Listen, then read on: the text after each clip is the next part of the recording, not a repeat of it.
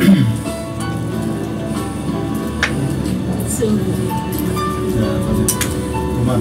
多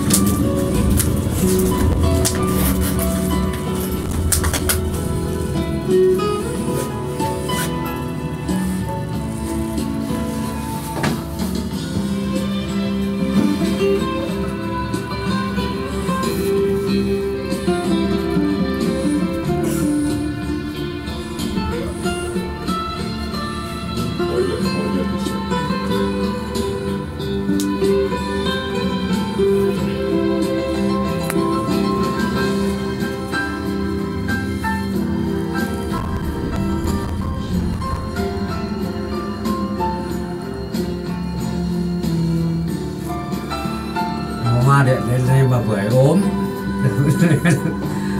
Đấy đang ốm nằm nhà. Như thế? Lại ốm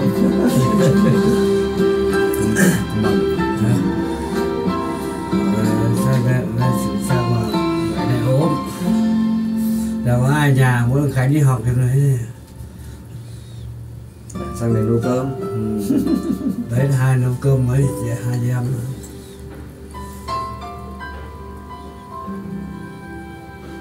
mất cái này Thấy gì không? Này biết không?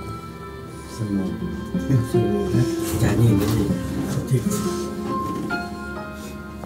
Chú ơi Vợ chú bao nhiêu tuổi? 48 Thế con chú là tiếng Nga hay tiếng Việt? Con chú thì người lại người Nga. Cả hai luôn. Nhưng mà giống bố hay giống mẹ? 40 60 đồng chú 60 cái gì của bố thì chọn của bố cái gì của mẹ chọn của mẹ. Cái nào cả hai nữa Mặt thì giống ai? à, Mặt thì giống ai? Mặt chả giống ai. Thế ra với tóc tóc nó là không đen nó là không trắng. Nó là không không một tí.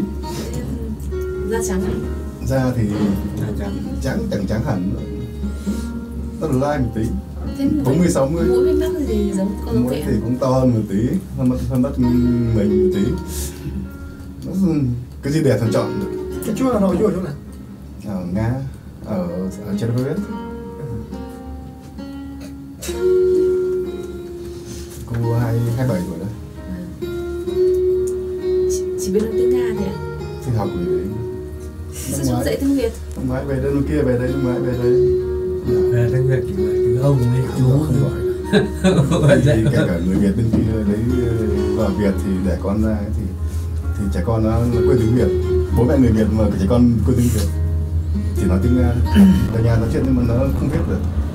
Nó nói cũng cũng sốt. Bố mẹ người Việt và con không biết nói tiếng Việt